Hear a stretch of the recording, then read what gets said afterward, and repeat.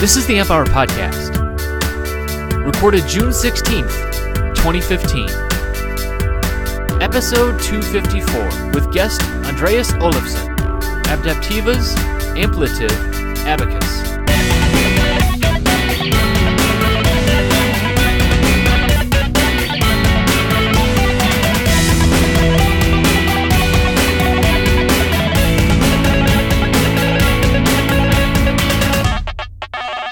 Welcome to the Amp Hour. I'm Dave Jones from the EEVblog. And I'm Chris Gamble of Contextual Electronics. And I'm Andreas Olofsson from Adapteva. Hey, Andreas, thanks for joining us. Oh, thank you so much for inviting me. And you're in Boston.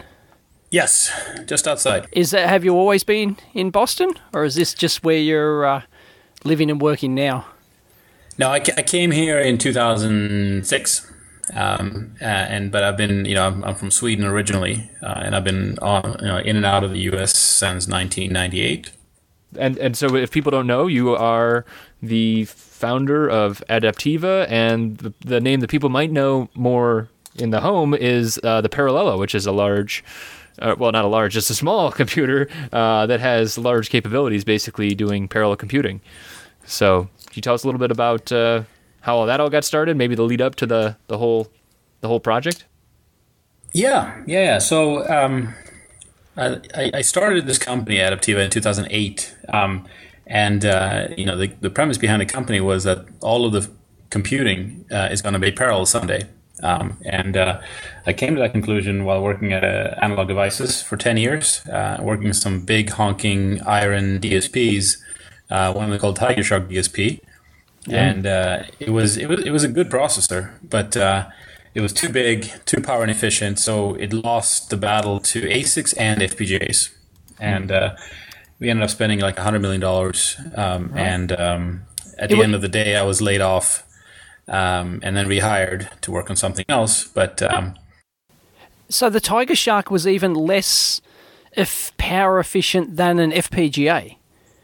Oh yeah, yeah, not even it wasn't even close. Really? Why? Yeah. Why was that? Was Well, so I mean, FPGAs are are, are quite efficient if you customize your uh, your code to the problem. right? no, of Um, course, so- right. So, so if you take something like uh, wireless communication, where the TigerSHARC was supposed to go, um, uh, if you want to look at forward error correction, like uh, Turbo, Viterbi, Reed Solomon, it's all bit twiddling, and uh, the floating point performance of the TigerSHARC was useless for those things. So, Ah, got it. Yeah, um, so there were some things that it was pretty good at, uh, but it was trying to do everything, you know, and the kitchen sink pretty much, right? It was a video processor, a floating point processor, it ran an operating system, and when you add all that up, it just is very inefficient. Um, and so, I, yeah, the FPGA was definitely winning. Right, interesting. So was this like a management uh, thing where they kept trying to pile on requirements for this new TigerSHARC processor, or can we go into that? I, th- I think it's pretty common microprocessor uh, or chip design issue or disease. Disease, uh, yeah. right. that, that you, you know, feature creep, you decide, you know what, we need, need this one feature. And, and the problem is that every feature on its own looks great. Right. Right? You, uh, and the architect or the manager will say, you know, this is going to win us a socket because it gives us 10x on this, you know, kernel. And then before you know, it, you have 100 of those features, each giving 10x on a certain kernel, but in aggregate, they destroy the whole product. Got it. Got it. So what was what would have been the comparison with the, like say the TigerSHARC for example if you tried to duplicate the equivalent general purpose functionality inside an FPGA the TigerSHARC would still be more efficient wouldn't it because it's dedicated silicon Yeah, yeah, oh, no doubt, right? If you look at, I mean, that's that's an FPGA versus anything, right? Uh, if you take a, Right.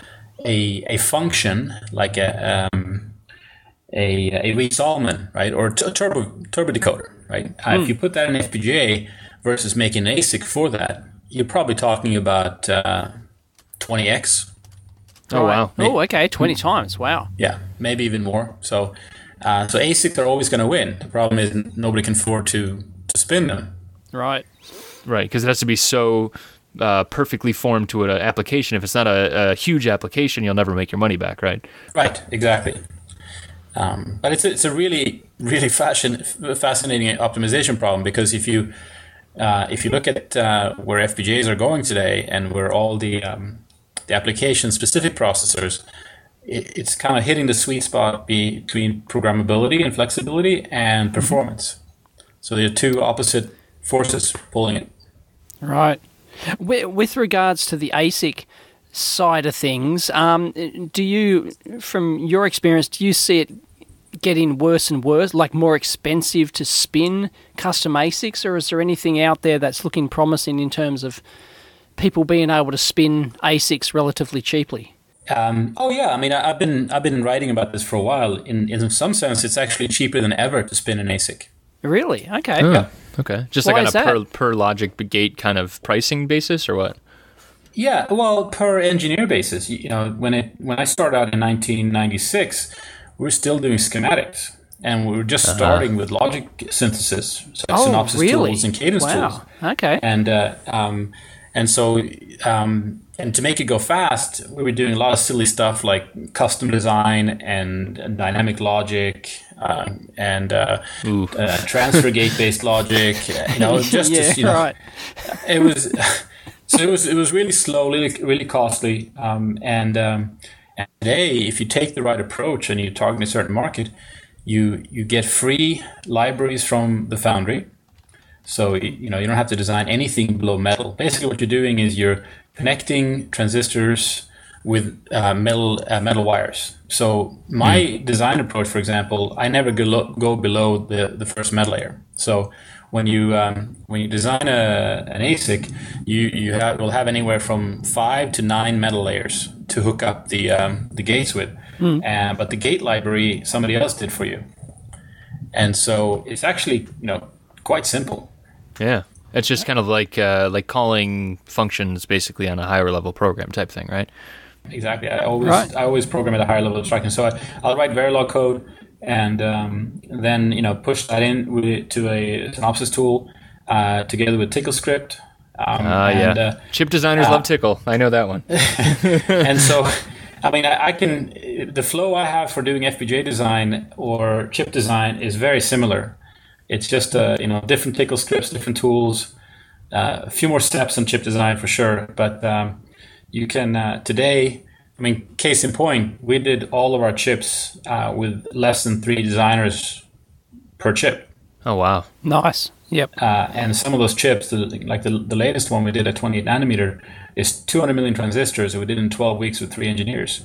Um, wow.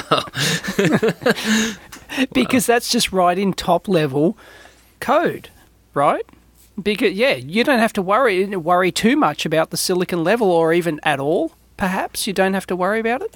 Uh, no, uh, there's there's some tricks to it. You have to be very careful, and you have to have the right methodology um, and take a lot of margins. We're definitely not designing close to the edge like somebody like Intel would do. Right. Um, you know, we're we're not pushing the envelope at all. But uh, if you, you stay down, straight down the middle, um, and uh, you have experience in doing chips before, it's it's absolutely easier than ever. Hmm. So what you, so with your um, uh, with targeting either an FPGA or a or an ASIC, um, what are the major differences there between targeting? Would you target an FPGA first to like actually trial your chip, or you wouldn't bother? You'd just shoot for silicon. No, we we we um, we definitely prototyped everything in FPGAs first, um, because it's uh, um, you can run things fast. You can actually validate with, with complete test suites or, or right. kernel loads. Um, so it gives you the confidence of running enough clock cycles that it works. It's another synthesis tool. So sometimes the, the tools will find and uncover different problems. Mm-hmm. Um, they shouldn't, but sometimes they do. And uh, and I mean the FPGA you, you can you can spin that in a couple of hours or minutes, whereas the chip it takes you five or six months, and that's that's the killer for right. ASICs yep. really it's not even the cost; it's the the time lost. So when when you are uh, prototyping on FPGAs then as well, so does that mean that you also have those libraries from the foundries and such to actually push down to the FPGA, or is it like you have to customize that kind of stuff and do high level logic with there? That's No, we. I mean, we write we write our code in Verilog, um, you know, vanilla generic Verilog, and so it, it's really just a matter of, of feeding that into either a logical synthesis step to map to a an ASIC library or to map to the inside the FPGA. Cool. Yeah, that's that's good. Um, and and so like when you're targeting, so like I I don't actually know. So 200 million gates, I I really don't have any kind of measure on what that would actually be these days. Um, what does that what does that mean for if you have to like target a an FPGA that's a similar size or that could fit the same design in it? What what kind of size FPGA do you have to target to to match that same 200 million gate thing? Um, I mean, it, it's a big one. It's an enormous one, right? Think of the one of the. I is mean, it so, a single? Is it a single FPGA, or is it one of those huge, big boards with like 20 FPGAs on them that are designed for ASIC? prototyping. No, we couldn't afford one of those. Remember, we're a, oh, we're right. because they're very how how expensive are they? Um, I, I you know I, I knew that I wasn't rich enough to ask, uh, right. so I didn't. But I I can imagine them being you know hundred thousand dollar range or something like that. Ooh, yeah, wowza, yeah, because, because each FPGA on there is like five thousand dollars, right? Yeah. If you have mm, to ask, you can't crazy. afford it. yeah. So, so, so, could you fit everything on the one FPGA, or would you just do? Oh, well, let's just do a little block we've got. So yeah, so the um, uh, because our, our, our design is very tiled, it's very encapsulated. We felt that you know taking a couple of tiles would be enough. So we actually took right. a, a, mod, uh, a modest sized FPGA and uh, and pushed some tiles in there. I think we are, we're up to four at maximum inside the tile, and we had a 16 core mm-hmm. chip being taken. So um, and and it was yeah it wasn't perfect. It did flush out almost all the bugs. Right. Okay. But did you end up? Did you get first spin on your ASIC silicon? Did Did you get it first go, or did you have to go? Oops, we forgot something and respin it. Bodgewire. um, so uh, so we have we've had four versions of the chip. Um, the first one was something I did out of my basement and definitely a prototype. Uh, the first one was ju- really just to get enough money so I can get a team together. Um, so that I wouldn't, I would call that an, an intentional uh, punt, right? Prototype. Um, that was that was right. version zero, and then version one uh, was uh, was supposed to be a product, but uh, one of our vendors made a mistake, and so we had to spin it. But the you know it, it happens, right? You're only as strong as your weakest link, and in this case, it was our partner. Um, and so we got you know we got retribution for that. Um, I was going to say, did the partner say, pick up the bill? Did they have to pay for it? right? yeah, yeah, they did. They did. They did. Ouch. Um, so is is is a goof up like that common? Is that something that you know the vendor factors into their, you know, oh look, we're going to screw up one out of every ten times, and it's going to cost us. Um, I think most people expect uh, some kind of spin um, but uh, it depends on how you how you schedule it and if you can work around it. Um, pretty catastrophic. Um, so um, yeah, you, you, you, you, it's hard to afford those kinds of things when the margins are, are pretty slim. Um, so yeah, I, would, I wouldn't say they build pricing or anything. This was pretty unusual. Uh, I don't I don't want to go into it too much, but uh, got it. Uh, but but um, so yeah, so that that that first one, you know, I call it Rev one did not make into production, but Rev two did, and the Rev two is the one that now is you know is shipped to tens of thousands of, of parallel boards. So there was just kind of really one mess up there. And this is so this is the one you ship f- for the Kickstarter project. That's right. Yeah. Could you tell us some more about the actual uh, the architecture? Because so so you told us before the show started that this is so this is a completely new architecture, and you said that the one of the the the thinkings behind it was that not necessarily going to be able to compete in with ARM in the marketplace for like a consumer level, but from a massively parallel level, you will. So could you tell us like how how it's different than some of the architectures that people might already know? Yeah. So it's um, so the the idea was that the, eh, besides being parallel, the, the future of computing is really heterogeneous, meaning that um, there's no one tool that will solve all problems, um, and that you you really have to have three tools in your toolbox. Uh, and one being a microprocessor that runs the, the operating system, the, the general purpose cleanup. Uh, and uh, you know, x86 and ARM is fantastic at that. It's it's mm-hmm. a you know extremely uh, well positioned machine. Um, but if you're talking about high performance math, all that baggage that's in the the processor architecture, I mean the same baggage that I found in the TigerSHARC, it's there, which means that you're never really gonna reach the top level performance that you need for certain applications. So you need something else that's more specialized. Right. So, what sort of functionality would you put inside? Well, what functionality did you put inside your um, core, which is called the Epiphany? Is that correct? Yeah. Yeah. Epiphany. Yeah. what sort of functionality did you put inside that to go right? This is going to be highly optimized and also kind of universal enough so that it's good enough for a lot of different applications. Is it? Is it? You know, floating point matrix stuff? What sort of you know functionality is in there? So um, first thing we threw out everything. That that was that was the major realization. that, that throw out everything and then take take pieces in one at a time. Um, and and so basically things have been accumulating since the the day one of, of processor architectures, and some of the things that were put in in the 1980s are not necessarily relevant today.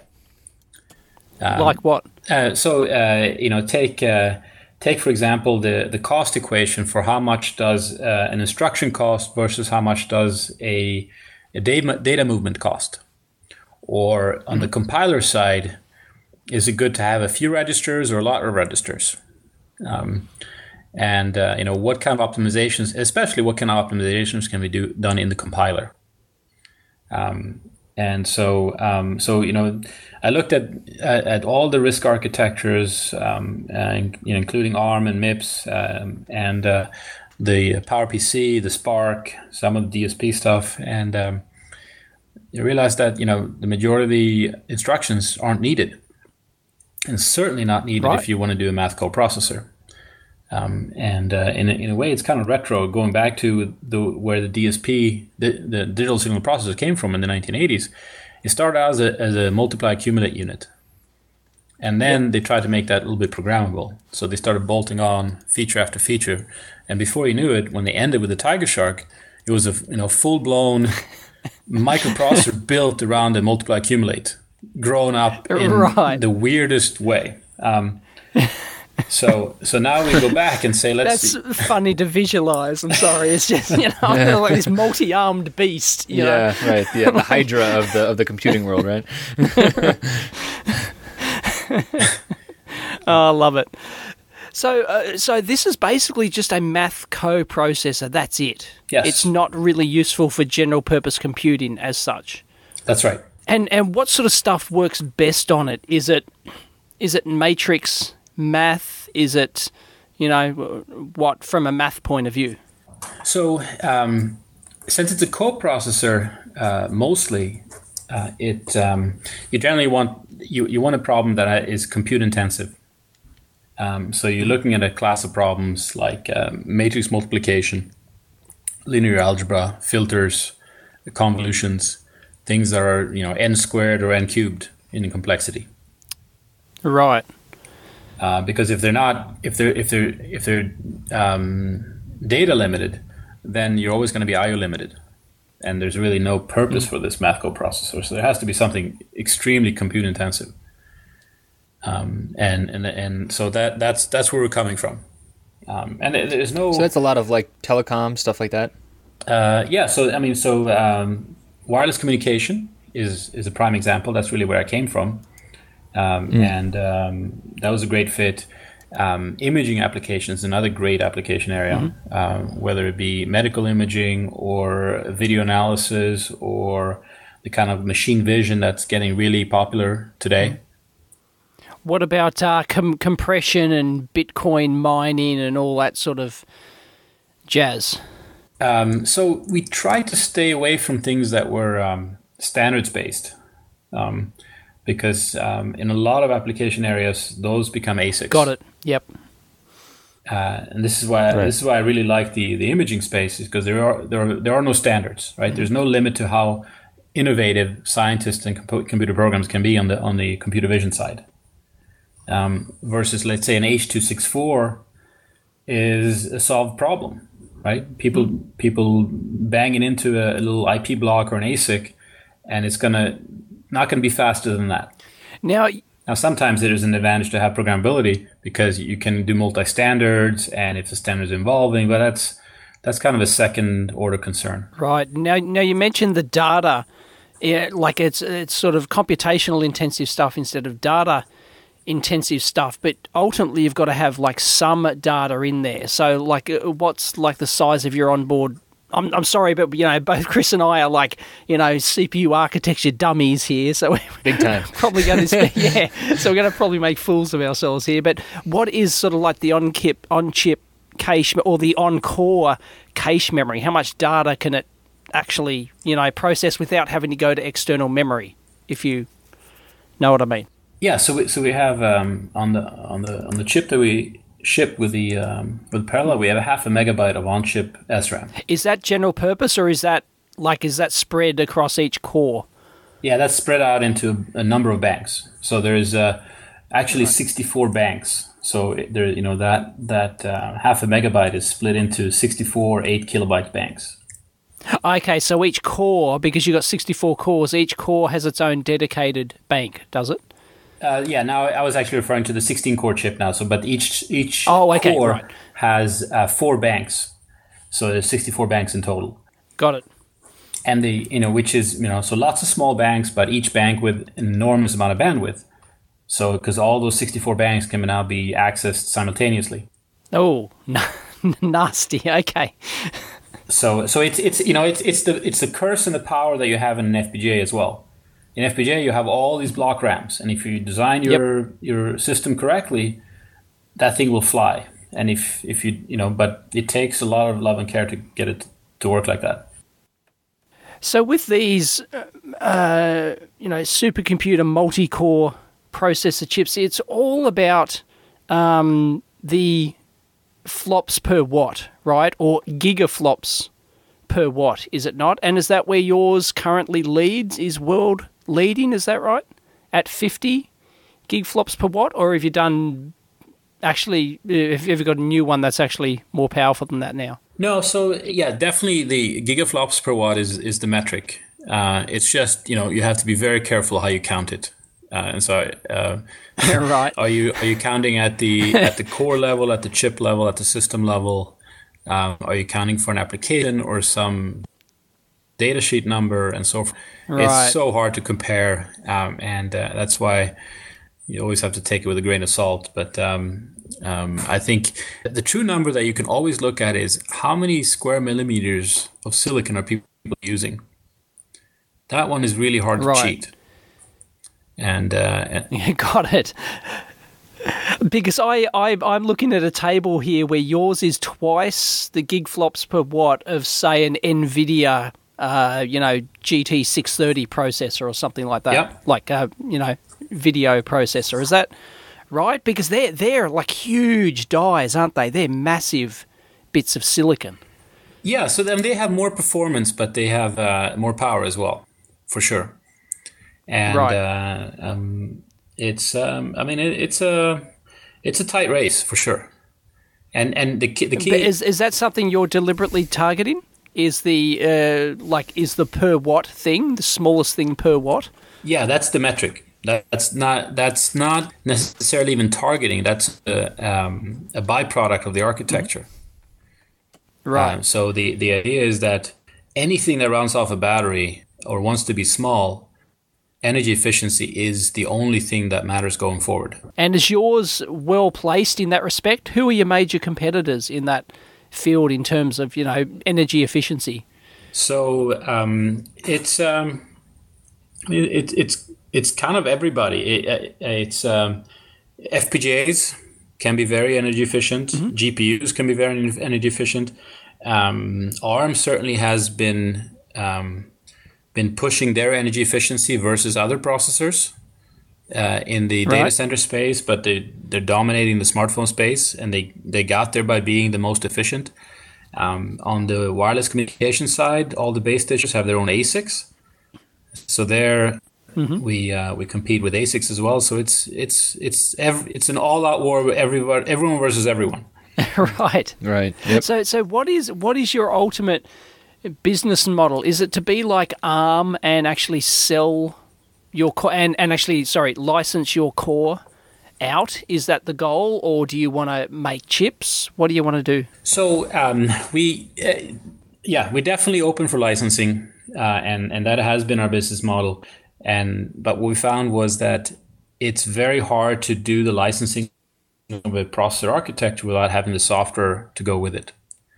You can license the solution, As in the software, as in the compiler, and no, that that we have. Uh, I mean the whole application stack. right? Oh, the mm, application space, of course. Nobody wants it's a chicken and egg thing. Nobody wants to use. No manufacturer wants to use your processor if there's no software, if there's no apps for it. Right, and the, and nobody's going to build software for a processor that doesn't sell a billion smartphones. right. Yeah. Money. Oh goodness. Well, and it's uh, it's almost like how how you were saying that you know you you guys take advantage of the software coming from the foundries. That's kind of what people are also looking forward in order to shorten their development cycles so that they can have a three person team and Yeah. develop some you know consumer level product or some other type of product there. yeah, that's right. Huh. What is what is the difference between? Uh, well, uh, the sort of efficiency is probably not the right word, but you'll understand in a second. Between actually uh, doing a super, supercomputer with separate chips, uh, you know, be they sixty-four cores each, and then have or between the cores on the chip itself. Is it better to go for a larger and larger silicon and have more and more cores on there, or is it better to have or is it more efficient, cheaper, whatever, to have multiple chips with only a smaller number of cores? What's the trade off there? It depends on the architecture. In our case, definitely the bigger we can make the chips, the more we gain. We get kind of like a super linear speed up because um, if we put lots of small chips on a board, we're going to be IO limited because the you know the you, let's say you have a BGA with a one millimeter pitch, there are only so many traces you can fit on that board. Um, on the uh, inside the chip, a um, a wire might be you know 0.1 microns, so it's tiny. You can fit thousands of wires. So, so what's what's the current limit to what size you can make your die? I mean, like you can't make it the size of a three hundred millimeter wafer because it's it, there's a, a thing where it gets like yield versus you know cost and all that sort of thing, isn't it? Yeah, so the, the, the, the max die size has stayed pretty constant for forever, pretty much. Um, and it, it's kind of tightly related to process scaling and Moore's law, in that you, you go to the next process node Right. when it's mature enough. Um, and um, um, so we, we talk, And and what is that size? What is that size limit? uh, let's say around five to six hundred square millimeters. So like twenty five by twenty five. So uh, so if you can if you can um, um, by by maximizing the size of the die, you can fit more memory on the die, uh, which means that you can solve a bigger problem. And if you have a problem that scales as uh, n squared or n cubed, you've gained, right? Because that means that you you you your mm-hmm. Got your gap between bringing data in and out versus computing grows.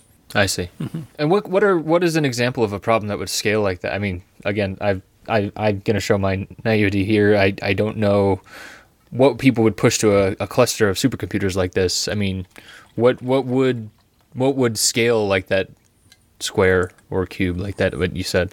Um, so I mean, one one classic one is let's say you're doing some image processing on a on a video stream. Um, if you can fit the whole frame, and maybe or maybe a frame and a reference frame on the silicon die, you can crunch your way on that for a pretty long time without ever having to go off chip. Ah, Yeah. But um, if you let's say you could only fit a fraction of that on chip, then you're going to be constantly shuffling te- temp- uh, shuffling temporary uh, results on and off chip. I gotcha. Right. And then reconstructing and all the other stuff that goes along, all the other overhead that goes along with that. Then right. Yeah, so all the, all that temporary data you're gonna have to put in DRAM somewhere, and uh, you're gonna end up with uh, you know multiples of the uh, of the bandwidth that you need for the actual uh, video frame, in and out.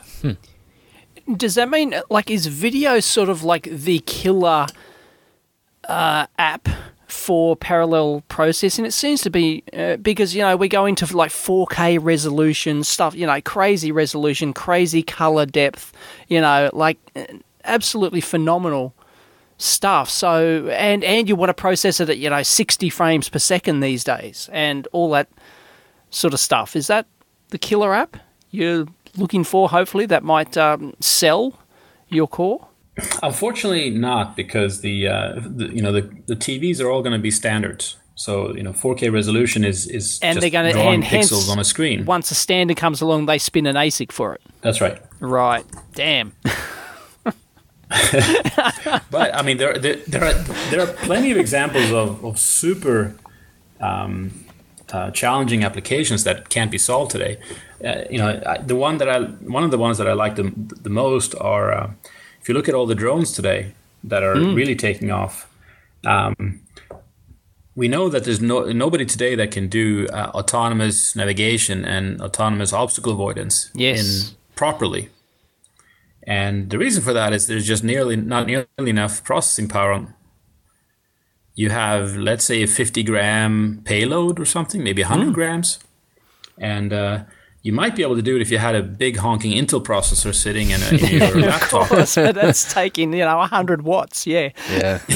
but you can't do it with a with a little tiny processor there right now. So to me, that that's an example of um, in order to fly fast with a drone, you might be flying 20, 30 miles an hour, and you know what if you want to fly through trees? Um, Yep. Oh yeah. Uh, you don't want to hit any trees. You need to make those decisions in milliseconds. That's that's a tough problem. Yeah. Right. Right. Because it's not just bringing in the frames and and crunching on them. It's also processing on them and doing all of the detection and the and then reacting and all that other stuff. Yeah, you have to filter. You have to detect objects. You have to make sense of the objects. It's a very very tough problem. Yeah. So how do people? Okay, so people can obviously buy this. This is a very very affordable. It's a, I, I'm amazed at how accessible this is actually. Um, I was mentioning before the show as well. Just even having like a Zynq on board, that's amazingly accessible as well for the price. Um, but if someone did get this, where do they normally start? Is it like start with uh, like some kind of Python programming on like the like a higher le- like an OS running on the ARM processor, or is it uh, what what's it normally running? What what can what can you really do when you're for someone that's getting started with it? So, um, usually the people who get started will, we'll, we'll start with you know reading through the manuals, look at our SDK, and and think right how do I how do I make use of this thing? How do I send out? They think of each processor as its own core, um, and uh, and then you start on the ARM. You have some problem, the application code that you want to work on, and um, then you take some part of that application that's the bottleneck. You'll send out you you'll divide that up into 16 work threads. You'll send each thread to a to an Epiphany core, and there's your you know your initial speed up. And if you're lucky enough, you don't have any communication between the threads. Ah, okay. Um, Right. If you if you do have communication between the threads, things all of a sudden got a lot more complicated. But that's no different from any other parallel programming problem. Well, it is a it it is a little more bare metal here, so it's going to be harder uh, with with this architecture until now. Okay. But it's um it, it's kind of a general problem. So found is that the, the people really done well here are people come in with all the experience in parallel programming already, and they just Right. kind of have to frame you know uh, adopt that experience to the Epiphany platform. Um, the, the the people who have struggled more have been people who don't have the parallel programming experience, and this is their first you know kind of first try. That's been that's been rough. Oh, people that are used to just a micro and and basically like sequential programming, just kind of chunking through a task, that kind of idea. Yeah, Have you got any real good uh, examples of uh, acceleration where people have actually used it in a real application? and What sort of performance increase they got by actually shuffling it off the ARM processor and onto the uh, core? Yeah, and we, we have, we've done our own with things, uh, single processing kernels like matrix multiplication, FFTs.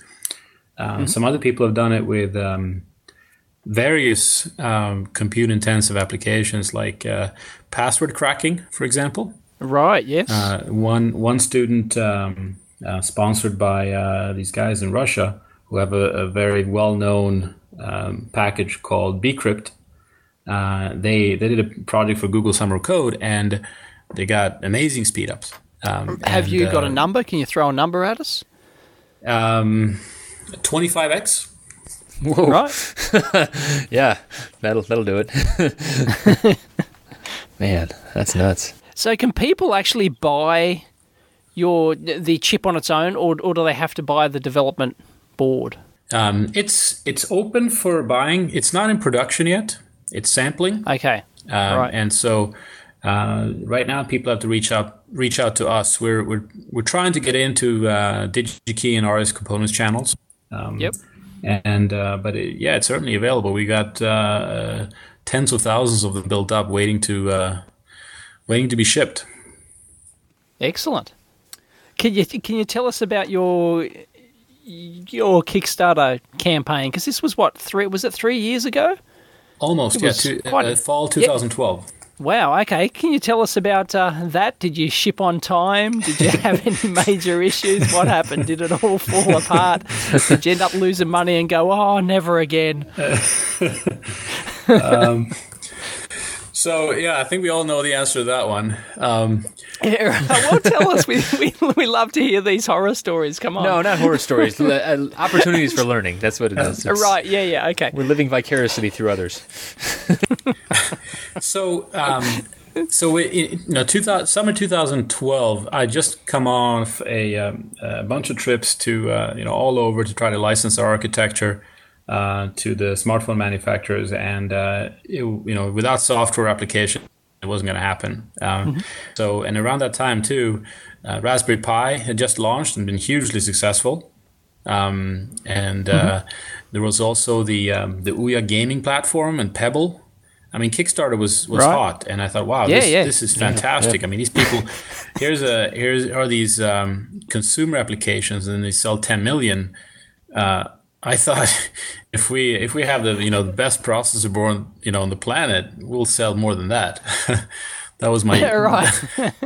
that was my uh, incredibly naive thought, and, so I decided no, that we should launch, um, and um, uh, we did. But I mean, we we made all kinds of mistakes. Um, it, it wasn't it wasn't nearly polished as, some- as some of the other platforms, or um, our, our our marketing kind of failed. The I did not understand that Kickstarter really is about a, a, a finished device that consumers can use. It's not about selling platforms, Right. right?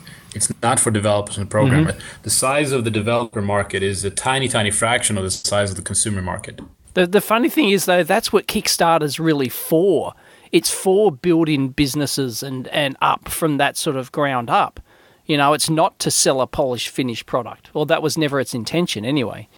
Um, and so, yeah, so so the, the, the effect was that the market wasn't nearly as big as I thought it was. Uh, and we, I think we raised like hundred thousand dollars on the first day, uh, which is great, but it's not nearly enough to build a chip on or to get a chip into production and build a board um, and sell it for ninety nine dollars. So, um, so we, we knew we were kind of in, in trouble, but uh, we uh, we really wanted this to work, and so we worked hard for 30 days. Uh, kept working on material, disclosing more information. We opened our data sheets and reference manuals, and uh, and, and worked worked very hard. So I think we, we did that right. But uh, after 30 days, And you managed to get your goal. Your goal was seven hundred and fifty thousand, and you got nine, almost nine hundred. Yeah, yeah. I mean, to- towards the end there, it um, uh, we released a new video, right? That was less academic, more consumer oriented, where we, we showed off, Right. you know, the the prototype system Z board, uh, or no, it wasn't even Z board. I think it was a Zynq 706. We had we had both that we were playing with, and uh, and an FMC with our chip on it. I mean, this was a, a you know complete prototype, uh, and so we, we showed what we had, and we showed told everybody where we wanted to get to. Um, but even now looking back, that no, those are some pretty pretty lofty goals. Say, you know, here you have Right. an eval kit that costs a thousand dollars, and that's you know like a, um, a, a regular sheet paper, right? Um, a um, and then we're going to take that all that electronics and turn it into a credit card and, and get the price down by a factor of ten to ninety nine dollars. It was it was very aggressive. Um, and Did you ultimately do it though? Yeah, we did. Excellent. Sounds like it worked. We, we did. So, so you so actually we- raised enough money to just enough money to do it in the end, or No, we didn't raise nearly enough money, but we did it anyway. right, Um, right, okay. so, so we in the end, I mean, the the um, on the on the business side, I made a lot of mistakes uh, in you know pricing it too low. Um, Right. So Yep. it, you know, on its own, it didn't become a viable business. Um, Mm-hmm. And I don't think we're the only ones from Kickstarter campaigns to do that. In No, fact, I think the Yep. the more money you raise on Kickstarter with a lower price, the more trouble you get yourself into. Um. And uh, and so for us, you know, if if we would have set the price at two hundred dollars, there's no way we would have met our goal. Right. That- right. At least that's my. You think you my- think my feeling. psychologically people people wouldn't have bought it. You think that ninety nine dollar goal, uh, that ninety nine dollar price was a psychological thing where people went, oh yeah, it's only ninety nine bucks. I'll here's my credit card. I, I yeah, I I still think that's you know the the price has a lot to do with it. And I mean, look at the success of the the new computer, the chip computer. The nine dollar I mean, one, yeah, exactly. at- Because it's nine dollars. $9, People don't right? I mean, the pri- yeah, Right. I, I think that the magical marker now is not twenty five; it's twenty five dollars, uh, ninety nine dollars, twenty five dollars, right? That you Right. need to be below twenty five to really reach the consumers um, yep. in, a, in to be an Which is- impulse buy. Which is so But but but but you weren't targeting consumers though, were were you, or was that your intention to sort of get one into every home, like the Raspberry Pi kind of, you know, thing? Oh, the whole world needs to learn. Every grandmother needs to learn about supercomputer programming. no, I, we were we were um, targeting hackers and developers, but you know, really targeting Mm-hmm. people new at a program. Right. And and and I, yeah, I you know thought there would be m- more people like that. I mean, there's Mm-hmm. probably 20 million programmed, so that was our market. Uh, but um, it's uh, so we got let's say 5,000, um, Mm-hmm. and um, it's um, I mean it's, it's a pretty good number, but it, it's not it's not quite enough. Right. Yeah, I, I think that was a realistic number. I mean, you know, to get five thousand backers, for example, that's a lot in the in you know for a product like this. I think so.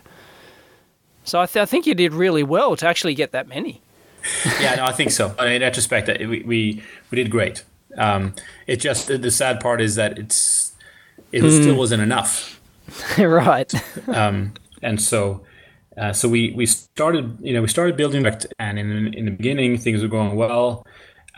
Um, in, in, you know, I think the, the major obstacle was that the the ninety nine dollar price point we set when we started the campaign, and since we didn't have a board build out yet, we could have no way of knowing what the pricing would be for the chips and the components on the board.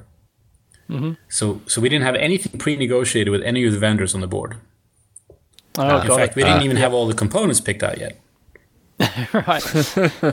right. It'll look something like the uh, the Zynq development board, but cheaper. Yeah, Right. exa- exactly. Yeah. Whatever it needs to do, cheaper. um, and so, uh, so when we started negotiating pricing, it, it was it was hard. I mean, uh, it was um, nobody's going to give their stuff away for free, so it was a lot of convincing that this was going to be a, a you know very big effort, and, and open source open source helped a huge amount because it became a, a kind of reference design for a lot of these chips on the board. Oh, right, right. Uh, yeah. So that really helped. Dri- that really helped drive the, the, the prices down, um, and um, you know, Raspberry Pi certainly helped. We were, we were going to be the next Raspberry Pi, um, and uh, so that helped convince people that they needed to give us the pricing that that could could get, could get us to ninety nine dollars. Got it. And, Um, and you're currently selling it on DigiKey for depends on the type. You're currently selling it for 126 to 264. Is that right? Yeah, yeah. So we have. I mean, those are distributed pricing. Um, we have our official list pricing on um, on Amazon. So we have uh, ninety nine, one forty nine, and two forty nine. Right. So so you ultimately in after 3 years you ultimately can sell it for $99 and make a viable business out of that? Or is it still sort of oh we're sort of, you know, selling it at cost kind of thing or at a loss to No, we- we're making money know. in every board, uh, gross Okay. profit. Um, but uh, I think the and I, I, I you know I, I think this is pretty common for for people you know the hundreds of people who uh, who build single board computers is unless you get to hundred thousand boards or above, um, and or working out of your basement in your free time, you can't make a living. Yeah, Right, yeah, right, of Um, course. be- because because you know an, an engineer in the U.S. Um, you know if if you're not making hundred thousand dollars somewhere, you, might be you probably underpaid, right? So you Right. have to figure you, your cost is hundred thousand dollars, and so um, that's for one engineer. So if we sell Oh, yeah. ten thousand boards, which we have, and we're making ten dollars per board, we just made hundred thousand dollars in profit. Um, that pays for less than one engineer with healthcare and everything else. Yeah, I was gonna say. Usually, I put it. I peg it at 200k for overhead and everything else. That's usually a Yeah. a safe bet. but yeah, Yeah, that's nuts. and that, that's Yeah. yeah. And and it's like that nine dollar chip computer. I was reading, uh, you know, article. Who was it? Oh, we talked about it last Yeah, week. we did. Chris, where, Olimex, that- yeah. where they can't. Po- yeah, they can't possibly make that a viable business. They can't. It's just not possible. Or right, something but it like almost that. Becomes like a like all of this almost is like a marketing platform for the for the chip on board. Right. For them, it's Yeah. they're obviously they don't they're not running the the the chip that's an all win or whatever all winner. Uh, but for your stuff, it's you know this is this is actually I think brilliant marketing for for the for the Epiphany and for and and like you said for for the Zynq and other things. You know where it's accessible and if there's a community around it, much like BeagleBone and. Uh, not like anyone's going to po- be able to get a Broadcom chip, but you know the Raspberry Pi as well. There's communities around it, and that that is a net positive for the platform. Yeah, no, a- absolutely. It, w- would your holy grail be to get one of these in every smartphone? Because smartphone is the consumer platform of choice, right? It's you know, it's just what everyone has in their pocket. Would would would that be of is that a goal that's even possible to get the manufacturers to go, well, let's, you know, we don't know yet, but let's stick this chip in here and, you know, and the capabilities there for running all this energy efficient, you know, parallel processing in a phone. Because phones are doing some very heavy duty processing these days, and it's, you know, becoming a big uh, uh, problem to get, you know, um, to get performance while maximizing the life of the battery. Um, yeah, uh, and so I, I think the the phone, uh, the biggest platform, the most prolific, uh, prevalent platform is going to win because that's where all the money is. Um, and so it used to be the PC, now it's the phone, and in the future, it if you follow Bell's law, it might be something even smaller. So you know maybe it's uh, a watch or maybe it's some other wearable device. Right. But then I/O becomes the issue. You know, it's the user interface and all that sort of jazz. Yeah, yeah. But is it possible to sort of get one of these? is it possible to convince one of the manufacturers to put one of these in your, you know, like a maybe a high end phone, and it's a marketing thing? Whoa, Look, it's got a parallel computer in it. You know. But if there's no apps to utilize it, then I guess the ha- answer is no, co- right? You have to come with a solution, um, and uh, and so our the approach was if we keep working with uh, universities and, and and the community and everybody else, eventually we'll we'll lock on to one of these killer applications, and and then we'll work with people to create the um, create the whole solution that then could go into a smartphone. So I'm curious about, uh, you know, speaking of solutions and stuff like that, uh, and, and and the universities. So on the software level, and and you know, you mentioned kind of getting started on the ARM side, but what are people? I mean, uh, how much is the flexible part of the Zynq, which is like a FPGA core around it? How much is that getting used? And then how much, like, what is what is the breakout like uh, as you dive down through through abstraction layers to the kind of to the bare metal? Where you- where do where do people go after just the ARM core? You'd mentioned the breakup on the the Epiphany, but Yeah, so so the um, there's there's definitely um, a smaller community that uses the FPGA logic, but it, it's completely accessible. You you know you download the free web tools from Xilinx, and you you burn a, a bit stream, you put that on the SD card, and you have your own custom FPGA logic. So we've seen a few people blogging about it and, and trying ideas. Uh, the guys doing the um, that password cracking one, they actually ran it on the Zynq as well as on the Epiphany, and the Zynq was actually the, the winner over the Epiphany even. So so Really? in terms of Why ranking was uh, FPGA was number one, Epiphany because it was uh, you know uh, it's all bit level shuffling stuff, right? Um, it's uh, it's doing a bunch of XORs on and on uh, um, and and you don't need 32-bit math for it. Right, so it's not really yeah, it's not it's not really math, right? It's not matrix operations Right. and all that sort of jazz. So so they they, they did a whole uh, whole write up on it and a whole design, uh, which is you know open sourced and, and up on our Git repo. Um, and uh, but I, I would say that the majority of people use the ARM because that's the easiest, and then they use the Epiphany, and then third, some of the people use the FPGA as well. You also mentioned uh, community and stuff. Is, is it mostly through Git, or is there uh, are there other resources that people can kind of access on the on the getting started side? And So we have we have a forum that's fairly active, about ten posts a day, um, and uh, um, people usually start. We encourage people to start out there because we have a good mix of senior people and, and beginners. Um, and uh, besides that, you know, they uh, um between uh, everything else, uh, Git and um, and you know Twitter, email, and so forth. Uh, I think I think we're we're doing okay. Great, that's great. Where do you where do you see all this stuff going in the future? I mean, uh, you mentioned the the um, the academic side of things. I mean, do you see it kind of just kind of cranking on math stuff, or where where where would be the ultimate the ultimate new application? Is that quadcopter, or are there other things out there that people might be that might tickle people's brains into using this thing?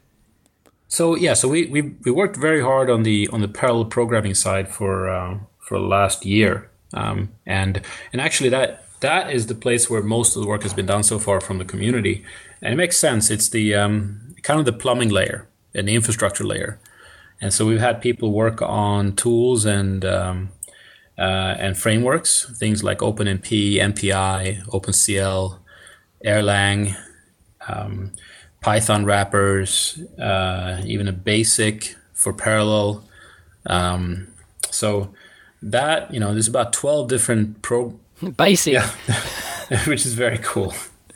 Um, so there's about twelve different programming frameworks that have grown out organically from the community that we had nothing to do with really, except support them. Um, but uh, so that that part, I would say, give it definitely give a grade A. Um, where where we now need to um, put our focus is uh, two application areas, and it's uh, it's imaging we talked about, so the the drones and the robotics, um, and there. Um, we, we just need to make sure we have the hardware and drivers in place to enable that. Kind of like what the, the Raspberry Pi did with the um, the camera board. Um, and um, um, and then the second Yeah, one is uh, exactly. software defined radio. Ah, the realm of of the Ossmanns of the world, Mike Ossmann and the and Jared and all them, all the all the people that like that stuff. Yeah, that's uh that's some crazy stuff they do, and and it's all a lot of that's done with the the low level. It it seems like they're DVI chips, right? So the the digital video thing. So they have the big multipliers. It seems like this would only only accelerate that ability.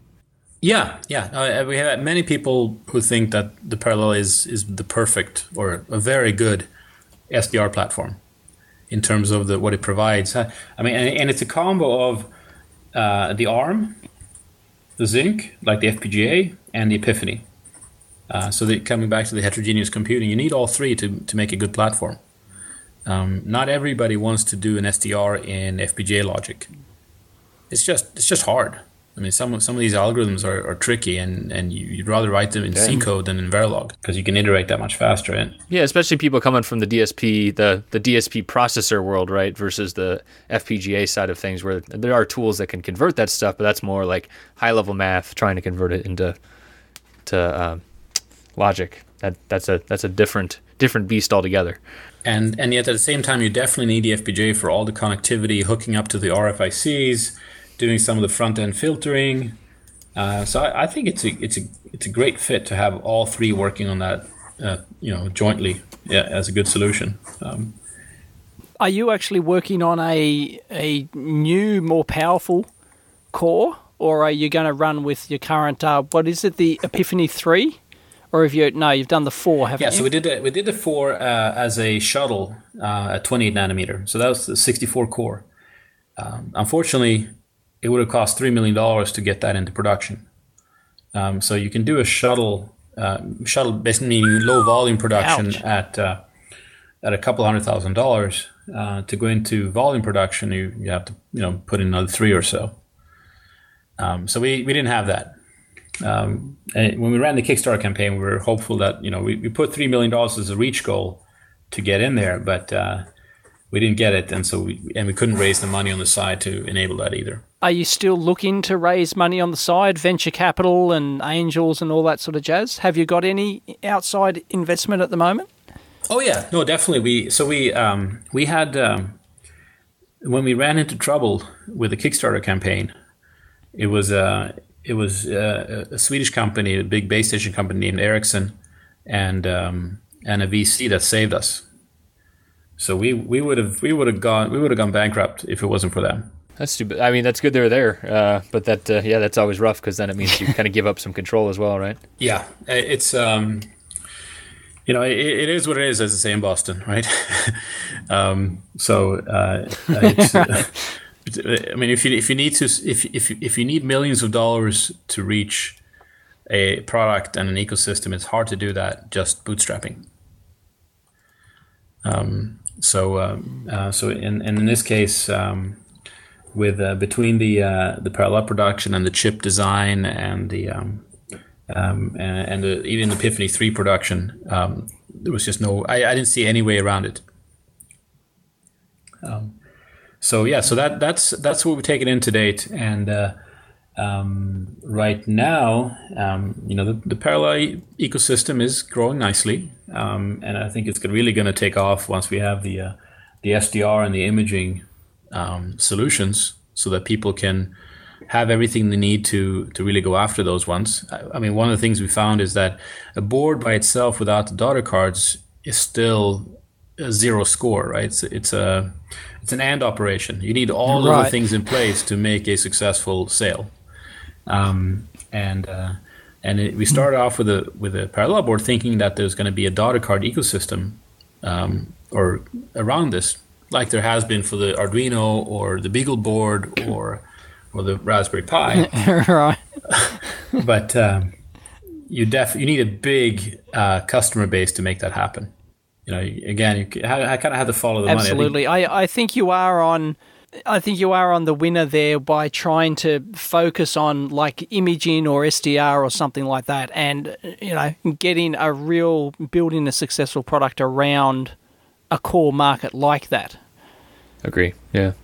What about like a, a neural processing? I mean, that seems like something that I always see for parallel like neural networks and stuff like that, and artificial intelligence. Is there any is there anything in the community about that right now, or is there interest in that in the research sector? Uh, there is, there is definitely interest from from many different camps in the research part, um, but it's research. It's not necessarily going to sell a lot of boards. So you, you know you might sell ah true mm-hmm. yep sixteen or yep. twenty to one university. Um, or, or they might even put uh, build their, their own board with a bunch of Epiphany chips on it. But um, it's it's yeah it until that becomes a usable application by others or a programmable platform by others it it's kind of a dead end. Um, so you know where as compared to let's say an imaging where you say how many people have bought drones out there? And how many people would want those drones to be um, be able to avoid the telephone pole around in front of them so they don't have to you know buy a new $700 drone? Right. It'll be worth um, the, the $100 board or whatever so, do you have any major uh, competitors uh, coming up with uh, similar uh, cores like this that can be used in supercomputer applications, or are you guys still ahead of the curve there? So, in the supercomputing space, it's mostly the big guys.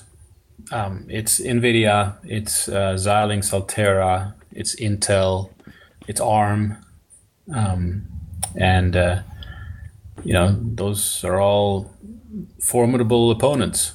Um, in the um, and uh, you know, in terms of startups, um, the you know one of the problems we had in raising more money is that there are very few investors investing in chip companies because the returns have been really poor in the last 15 years. And yes. so, you know, everyone who's been burned once is going to think twice before they invest again. And some people have been burned literally hundreds of millions of dollars. I mean, you look at things like Calxeda or Tabula. Between those two companies, there's three hundred million dollars wasted. Ouch! um, and uh, it's you know, it's it, not not any fault of the of the engineers on those in those companies. It just happened. Yeah. But uh, for the investors, it, it was their money, right? I don't envy you at all getting into the semiconductor space. No, it's it's all right. I mean, it's it's what I do. I'm a, I'm a chip guy. I've always been. When hard for me to do anything else. you'll you'll pry this chip from my cold dead hands. You know. That's right. Oh goodness, I love it. Is it is it is it tough to uh, to catch the attention of like the the the chip fabs these days? I mean, or is that is that pretty standard? You know, interfacing with a, a TSMC or someone similar like that. I mean, is it hard for that kind of stuff? Uh, it's it's not easy. They would definitely prefer you to uh, to work ah. through a an aggregator. You know, there are design firms or design servers that they want you to work through. Um, and a lot of times the problem is that everybody wants their margin. And so when I started going through some of these design firms, the prices they wanted was completely out of my league. And so, especially when I was working on my own, I mean, some of the, some of the quotes were, you know, million dollars for a test chip. Oof, dang. And uh, uh, uh, and and I was like, well, I that's great, but I, I can't afford that, so I'll do. I guess I'll do myself. So I um, I got a, a, a, good deal on EDA tools, um, um, um, kind of a special startup deal at, um, that then you know once we raised funding became a normal EDA tool, but um, uh, with, with, those tools and, and hard work, be able to do a chip on less than two hundred thousand dollars. What what everybody else quoted a million dollars. Wow. So so it, it's and, and so and then I worked directly with the foundry. But I, I also got lucky in that I got into a second kind of a not TSMC. I couldn't get into TSMC at the time, but I got into a you know one rung below that was hungry for business, and um, and so and once we once I was in, I was able to keep moving with that foundry as they buy GlobalFoundries and then as they move forward. Because um, I it's yeah it's it's not easy, but it's possible. Um, it, de- it depends on which vendor and the timing. Yeah, well, that's that's uh, it's a crazy experience, but I think it's you know it sounds like it sounds like for these kind of things, like you mentioned with the the the calculations per watt, it's like that's where it really that's where it really is needed. That's where the that's where the rubber hits the road, kind of thing.